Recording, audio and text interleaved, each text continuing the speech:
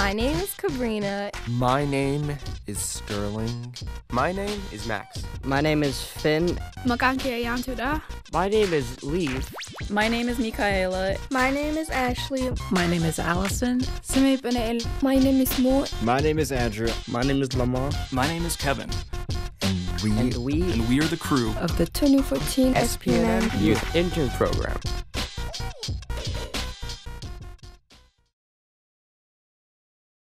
One of the great things about Minnesota is that there are many diverse populations here, but that also means that there are many people struggling to preserve their culture as they adapt to life in a new country. To learn more about assimilation and preserving culture, we spoke to Sing Lee, a graphic designer who is currently working with the Minnesota Historical Society to open a Hmong cultural exhibit. My name is Sing Lee. I was born in Thailand in the refugee camp in Chiang Kham um, in 1988. My family moved here in 1991. For, for, personally myself, I mean, it was hard trying to look at another person and, and try to be within their shoes because there was not a lot of people who looked or spoke like you. I'm currently working at the Minnesota Historical Society as an exhibit designer. Assimilation is always very hard and it's always very quick. It's, you know, culture disappears in one generation. My, my assimilation is very different from my parents' assimilation. It creates this, this huge wide gap of misunderstanding for many refugee and immigrant groups, we don't communicate the best with our elders, and that becomes, you know, very problematic and affects, you know, not only just health, but the social welfare of our own community. For our documentary, we chose to focus on the Karen community in Minnesota. The Karen are a small but growing community, and many Karen refugees are currently adapting to a new life. We visited the Karen Organization of Minnesota to learn more about Karen culture. Ataku, KOM's manager of the Youth and Social Services, gave us an overview of recent Karen history. My name is Ataku. I supervise uh, youth program and refugee social services as well as community health education. During the Second World War, the, the Karen supported British uh, forces to fight against the Japanese and the Burmese supported Japanese uh, forces to fight against the British. And at first, the British uh, promised the Karen that if we fight for them, they're going to give us independence.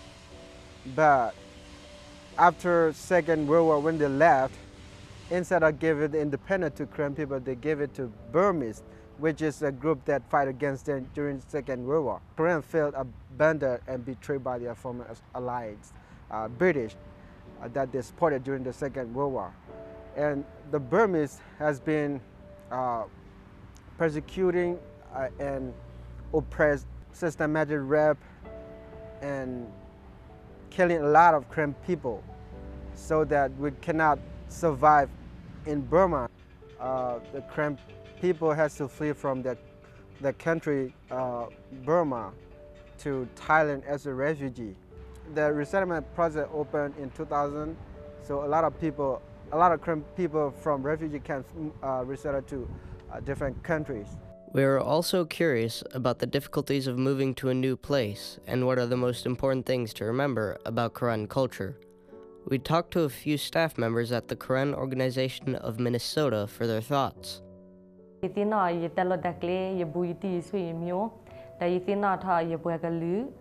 ဝဘကောဘခဲလယူကောမီရီကိုပီယိုစီတဖာမီရီလေရဟဒူဇာနေတရီကောဝဲဒါလေတလေတကီနော်ပကာတူဘာပမီအဲ့တော့ဟာဘဘဒေဘစတာဘပတစီဘကလိုဘာတော့တဘလတ်ခေါ်ဘဟာကမတလရဟတူဘာကောမရကာသောသောခနေတလတနာတဖောတခတခဲလေထိပါလေကိုနိမိတာတလေတကီတာဥတာဆိုတော့တကတူအတလူသေးတဖာနေလော There are a lot of current cultures and a lot of good things that we have to keep it alive.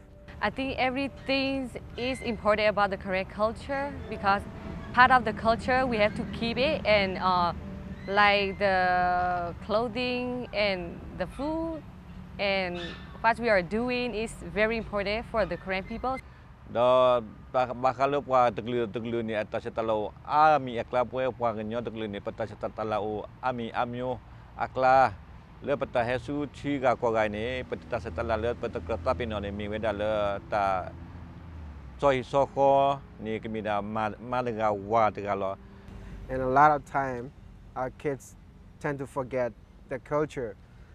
But some of, most of the time, the culture that they tend to uh, forget is a really uh, good culture that we have to keep. လက်ပတိလောက်ကောဘူးလက်ပို့ပါနေဖူဒီပိုတာတိတဖာနေတင်ညာပါကဲတာသူကိတာကွာဖဲပလက်တော့ကီလောဖဲပေါ်အော်ဆကတော့နေမင်းပါလက်တာတာနေဘမဲပါသူကိတာကွာတိဖာအော်ဝီမှာဘဲဖူဒီတာတိဖာပေါ်လဲမညာတော့ဒီညာတော့ဘဲဖူတာတိဖာနေဖဲပါဟာပလက်ပကီလဲစပ်ကွာတိဖာမညာခါနေပလက်တော့ပဆူလောပပလိုပဒူပူလောပပလိုပေဟီတာယူလဲစပ်ကွာတိဖာဘာသာဘဲတိလဲဖြီဖြီလော့ တိစောကောစောပူနေပပညာတိဖာနေတလူလာချက်ပထုတနုတိဖာလောမကွေဝဲတပါလီပါကဲကေမောပါတရသမတိဖာနေတိုလဲပါအခုနေဆရာမူလာလဲပူဒီပိုတာတိဖာကတိညာကေအလူလာထုတနုလာမေတာပါကဲတာတရသမကိုနာတာသူကေတာကွာတိဖာနေနော်တလူလာ Uh, the most important thing about Korean culture is that we like to respect each other, especially we don't talk back to elders, and we uh, we like to welcome our we like to welcome our uh, other culture, other family. I'm not saying that it's not important to uh, to adapt the other culture, but you have to adjust and keep your good culture and also adapt the other culture that's good. To get a first-hand look at what it means to preserve culture in a new country, Mu, one of our group members, invited us to her home to learn more about traditional Karen clothing. Karen single female wear a long dress.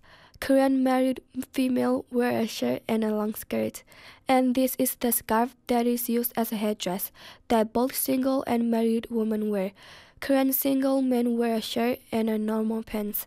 Karen married men wear a shirt and it's kind of like a skirt but it's not a skirt. Though Mu's family preserves their culture with traditional Karen clothing, they also have a typical American household. When Mu's family came to America, they had to start anew because their pictures and things were destroyed when the Burmese burned down their refugee camp. I think that it's very important to preserve culture because if we become one singular kind of culture, one mainstream, then there would be no difference in perspective.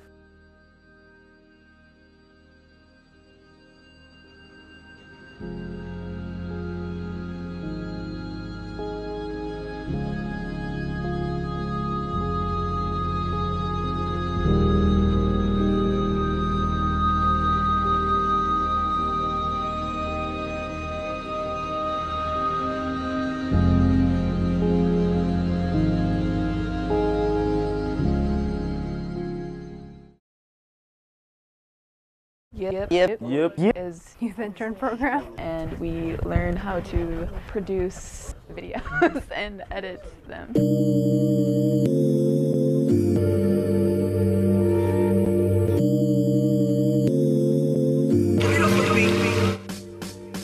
Youth intern program for like teens and high schoolers uh, during the summer. Um, my favorite thing about YIP. Oh, my boss is. I feel like I can talk to them about anything, you know, and then um, I, I, can treat them like how I would treat a close friend. Like I can tease them, they'd be perfectly fine. Well, I'd say I know a lot more about cameras than I than if I didn't attend Yip. My favorite thing to do, edit videos. So the very first few days, it was just basic things like learning how to use the camera, learning how to approach people to interview. We went to three different sites. From there, we each decided which interested us the most, and then we split into our groups. And now we're making magic. Wait. Put that in there. We, we got you. Now we're making magic. There we go. It makes me come back. The people. You get to meet a lot of interesting people and work with cameras, and uh, you have a lot of fun with that and uh, making your documentary. And we had some guest speakers. One was a photographer who came in and told us about what she does. That was really interesting. And then another man came in talking about his interior designing. Oh, describe it in three words. Uh, not sure, but I don't think you really can uh, summarize in three words. Fun. Exciting. And I don't know, passionate? Well, I, I can appreciate the fact that they offer food and free transportation here. It shouldn't be that hard of a decision. Like even if I wasn't getting paid to do this, I would do this and still have like the time of my life. So you should do it, definitely. Damn, this is hard, man. Is it done? Thank you. Peace.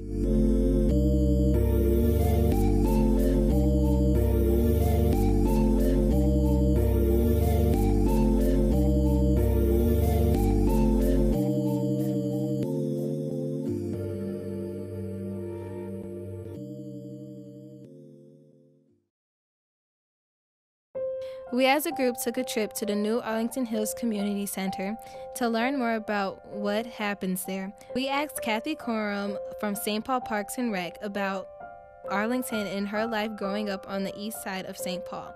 This is what we found out. My name is Kathy Coram. I'm the Deputy Director for the Department of Parks and Recreation in St. Paul. I've always thought it was just the coolest place to work is in public service um, because I get to give back to my community some of the things I feel like my community gave me as a young person um, growing up. I was on the east side in the, in the 60s and 70s and early 80s. It was uh, primarily white, um, primarily nuclear families where there was a mom and a dad and two or three or four or five kids. We went around, we got places on our feet, on our bikes, um, and on our roller skates. Our world was kind of eight or 10 blocks square. I think uh, the things that have changed the most are that the um, population has become more diverse, the racial and ethnic makeup, um, how much people move around, um, the fact that maybe the rec center, the church, or the school isn't one of the central kind of anchors in the neighborhood anymore, and then the makeup of the families that live there. So those are all big big shifts, I think, in um, how that neighborhood worked. The Arlington Hills Community Center that just opened a couple months ago um, was probably hmm, seven or eight years in the making. So there was going to be this big, grand facility that met a lot of different needs all in one space. We knew it would be busy. We wanted it to be busy. We wanted there to be kids there all the time. Um, there were a lot of people that helped me grow and develop as a young person, and many of them were in public spaces. It, it's unfortunate that some of the stories that have come out about Arlington Hills are that it's a place where there's trouble, it's a place where um, kids fight, and in some cases, the people that are involved in the storytelling haven't even been to Arlington Hills Community Centers. Um, and that's troubling because what's going on inside the walls is some really cool programs. I think a lot of times with media, it depends on who owns the story, who's telling the story. And what's really important to me is when there's negative stories about something like Arlington Hills Community Center, I want to make sure that we find a way for the counter narrative to be able to tell the other part of the story that's, uh, that's happening there. With all that in mind, we asked both youth and staff their perspective on how Arlington Hills is perceived by others. Arlington Hills in general, I would say the neighborhood, and therefore by default, this community center, simply because it's a part of the neighborhood, has a reputation for um, struggling with violence. But I know like the history um, behind the, the center is very, a lot of it's very negative. Yeah, a bad reputation. Most people outside of the outside of the rec center would think of it as, you know, a place of trouble. People view Arlington Hills as very violent and that all, most of the kids here cause trouble. I see a lot of people bash on it, mostly about how bad it is with fights. I feel like everybody look at us the wrong way because we're usually the ones bringing the like violence and the disrespect. I think they see them as what they usually are told about how youth are a lot of trouble. That something else, but you're not. But when they actually get to know the place, it's not as bad as people may think it is. As you know, if you're not really there to see any particular thing happen from beginning to end, you don't really know what's going on. So, with all of the negativity in mind, we also found out some pretty cool stuff that's going on at Arlington Hills. Um, the good thing about this site is that we're both a uh, rec center and a library. We have all kinds of different programs. Sports, we have open gym times, we have reading programs, we have the Create Tech Studio for teens to create all kinds of different things. Drawing and animation and di digital illustration. Workshops that uh, help youth uh, work with and play with technology. It's audio production and uh, video production a couple of very regular young ladies coming in and learning how to sew. One week they made disco balls for the room out of broken CDs. What we're doing is actually really great here. Yeah, it's fun. You know, I, I just met some new kids out there and all that stuff, and we clicked, you know. They think it's like a chill place to just come and hang out. Being in the Create Tech studio and playing the PS4.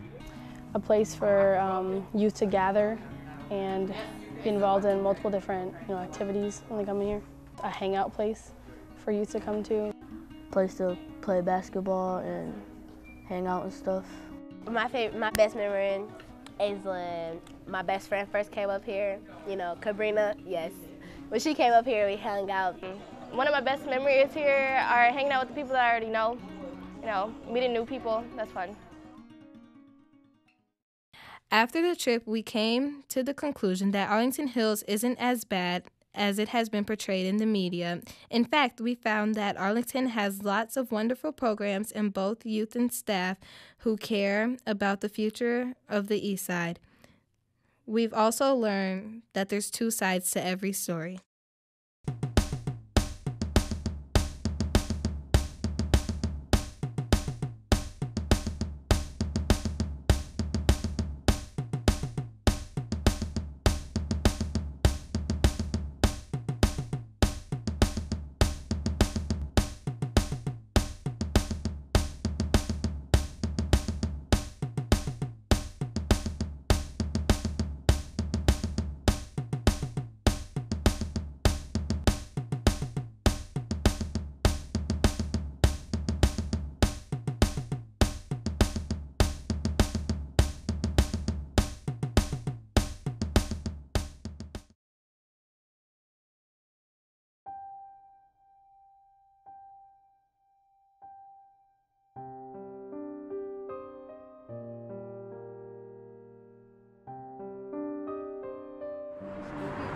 Think it's a really complicated question, but I think there's a lot of things. You know, obviously there's external beauty and internal beauty. Um, I always think of like the beauty as something that catches your eye, that sparkle, that glow, um, something that kind of gives you that warm smile or comfort. I would define beauty as your inner light. It's how you shine out to the world, it's how you present yourself, but it's also how you treat others, and how you treat others shows your beauty. It's who you are as a person. It's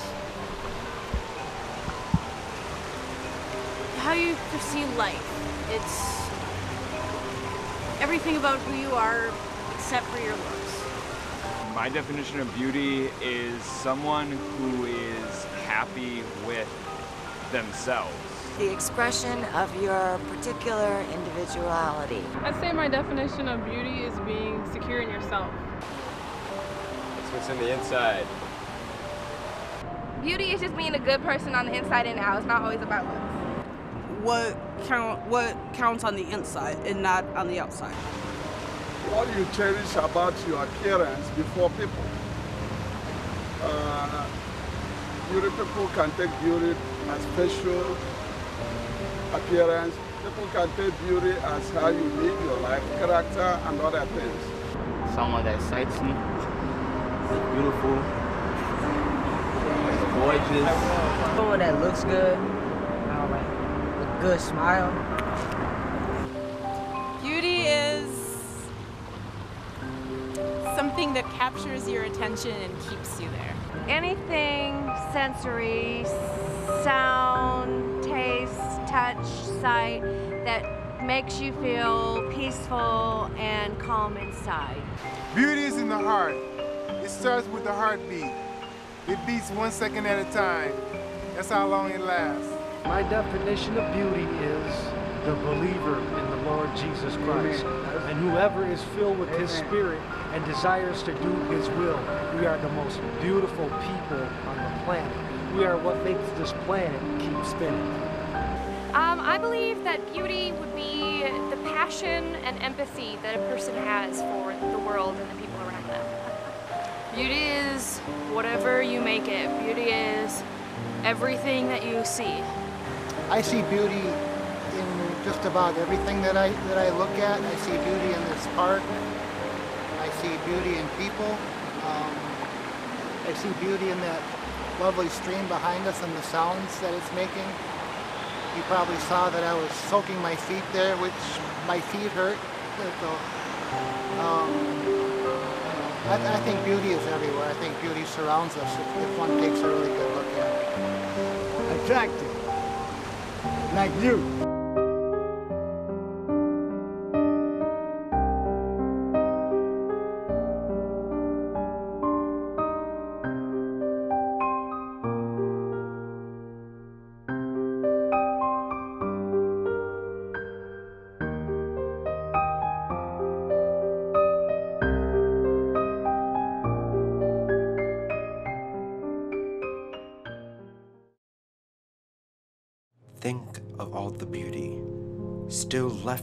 Left around you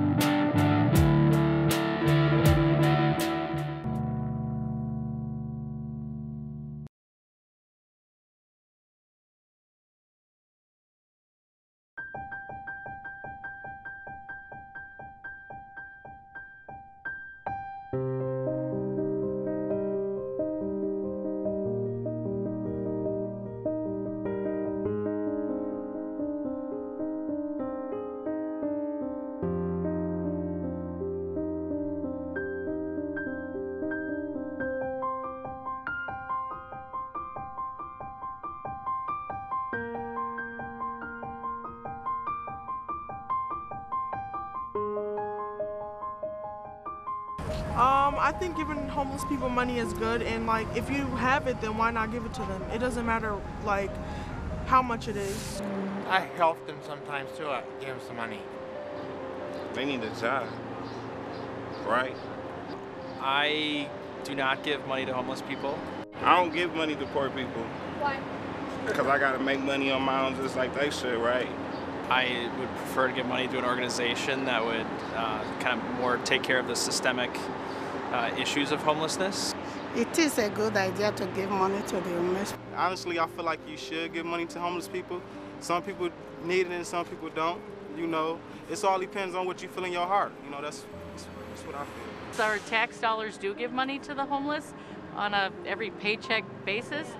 And so the, the problem is the homeless don't need money. The homeless need someone to care about what their real issues are. Nobody should give them money when they're standing on the street with their signs because when you give somebody something for nothing, they're not working for it and they didn't earn it. Anytime you can share your blessings, you should share it. You know what I'm saying? If you got it to give, give it. You know what I'm saying? Don't judge what that person's been through, what they gonna do with your money. I don't mind it as long as they're using it for a good for what they need. A lot of the homeless people do ask for money for their addiction, drugs or alcohol, but there are people that really are homeless that need money.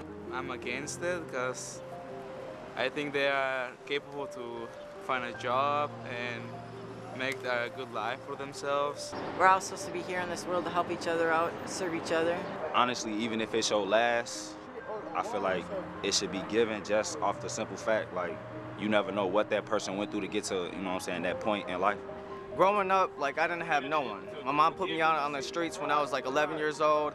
Put your feet in their shoes just for a moment. Would you want someone to help you? I'm kind of homeless too right now. I was in foster care for five days, homeless for seven years, um, and I never really got a handout. I have two kids I got to support, and a third one on the way.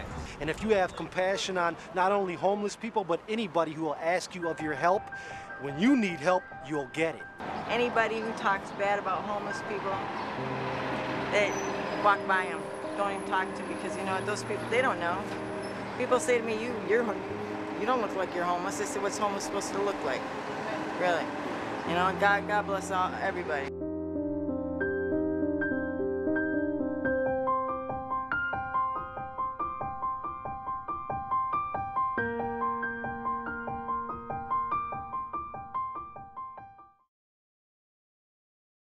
The transition from youth to adulthood can be an ambiguous experience, but many people learn to feel empowered when they get their first job. What was your first job? My first job was emptying waste baskets and making hangers for my dad in his tailor shop in laundry. I had two first jobs. They were kind of at the same time. I, one of them was with St. Paul Pioneer Press. I I worked at a convenience store in Korea. Um, my first job was actually tutoring, um, math tutoring. My first job was uh, working as a cashier at, or as an associate at Panera Bread Company. My um, first job was UPS. My first job was uh, working on a farm in uh, out in rural Minnesota, and I worked picking rock. First job was working at a Boys and Girls Club. My real, my first formal job was at a grocery store, and I was a bag boy. Technically, it was a summer job during college, and I put plastic bags over draperies. Uh, my first job was um, uh, working in my parents' uh, clothing store. I'm now working my first job at Como Pool. This summer, Andrew, Ashley, and Sterling learned about employment opportunities for youth in St. Paul. We talked to Trenton Henspeter from Right Track, the organization that we go through for our jobs at SPNN. Right Track is the City of St. Paul's uh, youth employment program. Employment for everybody is important. Um, you know, as you get older, you have to work to earn a living. Um, I think Right Track is a great program to get basic um, first-time work experience. We wanted to learn more about youth employment, so we went to visit Youth Express, a business that teaches about youth entrepreneurship through Express Yourself Clothing and the Express Bike Shop. But Youth Express uh, has actually been a program uh, since 1981. Uh, our focus now is mainly on um, providing first job experiences for young people in a, in a kind of a small business environment. Youth Express is my first job. There's four girls that founded the store to learn about fashion, what it's like to work in a small business, and also just retail in general because we're doing board folding, store set, visual, all of that. We have the apprenticeship program. The apprenticeship program happens every six months and they rotate during that six months they're taking classes and they're also working at the store We were impressed to see the youth at Express Yourself Clothing do everything from set up the mannequins to work the cash register to creating in store displays. So at Youth Express, the youth learn a lot of different skills. We support this by taking in donated bikes, refurbishing that, them, uh, or recycling them, uh, reusing the parts, and um, apprentices learn about not only bike mechanics, but also uh, the ins and outs of running a small business. Youth Express hires on, only youth apprentices between the age of 14 and 17. Um, in the past several years, the, a lot of the job market for entry-level jobs or, or um, you know, minimum wage jobs has been taken up by older people. At Express Bike Shop, everyone helped each other to keep their store running smoothly. Oh, well, this actually, this is my first job at the Express Bike Shop. They help, because I'm, I'm a person who's like, failure is like horrible. Like, I can't fail at all. But then they, like, they pick me up when like, I think I did something horribly wrong. And they teach me and they, you know, challenge me a bit. So, you know, it kind of helps me improve first and foremost for us because we operate businesses and we're business we're local businesses um, in the community uh, i think one of the things we stress the most is, is, simply one of the ways you can serve your community is providing a quality service being a welcoming place to, to local residents who want to come in and, and, and, and shop at local businesses and, and kind of create create kind of a community space in that way just by being a welcoming local business. Each of those cases when we've started a new business, there's always been a group of young people that have worked with us uh, right alongside us to develop the business plan. We've had young people that have dedicated themselves to that process. Um, I think that's that's probably one of the big ways uh, that that young people have contributed here. Finally, we visited Stepping Stone Theater, a program that employs youth who want a career in the performing arts. We use uh, youth from all walks of life, and kids come to us whether they're interested in theater or just being part of a, a group. I think there's lifelong skills of uh, teamwork, uh, creative thinking, uh, uh, working together. So we bring in young people to do everything from readings of the new works that we're doing, so they'll come in and, and workshop them. Our mission at Stepping Stone is to build self-esteem and self-confidence as well as a sense of community through the theater arts. One thing that is unique about our theater is that we don't have a lot of adults performing in our productions. Um, and then going even further than that, I have um, teens working as counselor interns. Yes, um, Stepping Stone did prepare me for careers in the arts. I believe that Stepping Stone's mission is to build confidence in kids, and it helps me it helps me create the better us that's coming. Youth are often overlooked for employment. But these job opportunities are and will continue to empower youth.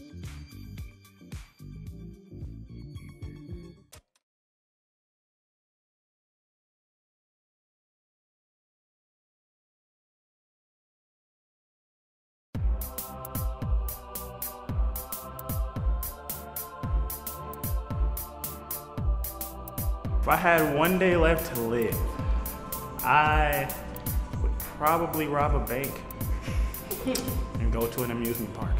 I would go to Disney World. Eating. I'd want to go scuba diving. I was spending going shopping. I do an improv ever performance and wear a blue polo and khakis at Best Buy. I would gather all my friends and fellow bronies and watch My Little Pony all day long. I'm gonna start partying. I'm gonna fly around the world as much as possible.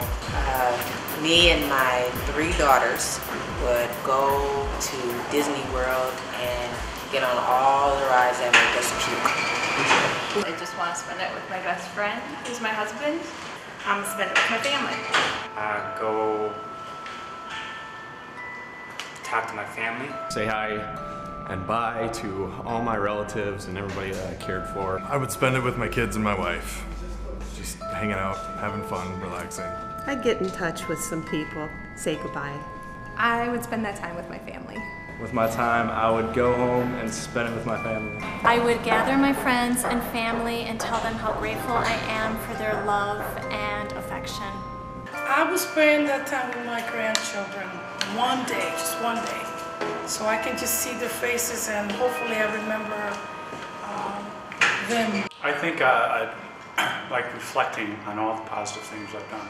I would rent a limo and gather all my family and we would have one last family reunion together. I would probably go back to Thailand and spend the time with my family, my best friend, and someone that I love. I would spend the time outside with my family and friends and people that I love, and preferably near a body of water. Would spend it outside. Travel somewhere interesting, I guess. I'd try to bike as far as I could. I would just go on a magical adventure. I would go out there and I would live my life. Actually, I would, I would even, you know what I would do? I would give my phone to a homeless man. Thank you. Have a great day.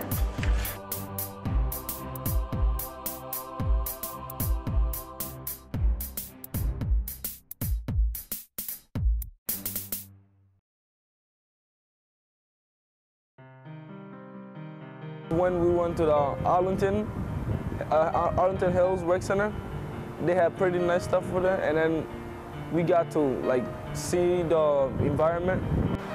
Probably the check-ins because I get to find out everything about everyone. Um, I like to go to um, the, the music room. How to work with the cameras because I think everybody should, like, I think it's a skill that everybody should learn. Having new friends and like learning how to work with cameras. Getting to work with the cameras. Because I love cameras so much. Mainly because I'm thinking about going into movies and filming. 50 people, one question. For one thing, I do like how we're actually stepping out of the building. So since we got to pick our own question and... It definitely was a big difference than, I'd say, a seven-hour cubicle station. It was fun. The most important thing is um, probably how to get comfortable with the camera. I had no experience coming in, so they taught me a lot of basic stuff that I didn't even think about before. Um, how to take a video and how to zoom in, zoom out, and those things. The most important thing that I learned is actually what's on the camera. Definitely how to work a camera. I mean, if I don't know how to work a camera, then I don't, you don't have a documentary. Is that you need to be more, is that you need to be very persistent when trying to get people to interview. How to work with people that don't that are different. I think like how to work with other people because you work with other people on editing and camera work and things so you really have to coordinate what you want to do and that's a good life skill.